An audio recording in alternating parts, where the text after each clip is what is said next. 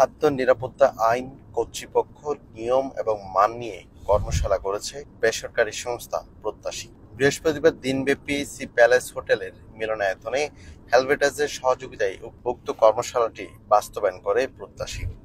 কক্সবাজারের কাঁচা বাজার ব্যবসায়ী ও বাজার সমিতির নেতৃবৃন্দদের মধ্যে খাদ্য নিরাপত্তা আইন ও বাজার ব্যবস্থাপনার সার্বিক দিক নির্দেশনামূলক মুক্ত আলোচনা হয়। কর্মশালাটির উদ্বোধন করেন হেলভেটাসের nexus program manager Nasrin Akter. প্রত্যাশীর IC four and প্রকল্পের প্রকল্প সমন্বয়কারী তাহমিন আক্তার সেতুর সঞ্চালনায় কর্মশালায় প্রধান অতিথি হিসেবে উপস্থিত ছিলেন পৌরসভার বারো নম্বর ward councillor M A Manjur. তিনি বলেন, পথে ঘাটে অস্বাস্থ্যকর পরিবেশে যেন বাজার গড়ে না ওঠে, সেই ব্যাপারে পৌর কর্তৃপক্ষকে অবহিত করবেন তিনি।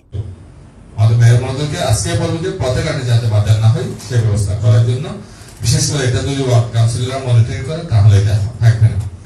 সেই জন্য আমি আজকে বিষয়টা বলব।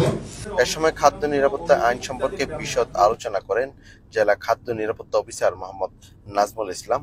আর বক্তব্য রাখেন পৌরসভার সমাজ উন্নয়ন কর্মকর্তা Shamim Akter, IC four N প্রজেক্টের প্রকল্প ব্যবস্থাপক ডাক্তার কবির উদ্দিন আহমেদ প্রকল্প অফিসার জসিমউদ্দিন আখন সহ পৌরসভার বিভিন্ন বাজার পরিচালনা কমিটির নেতৃবৃন্দ।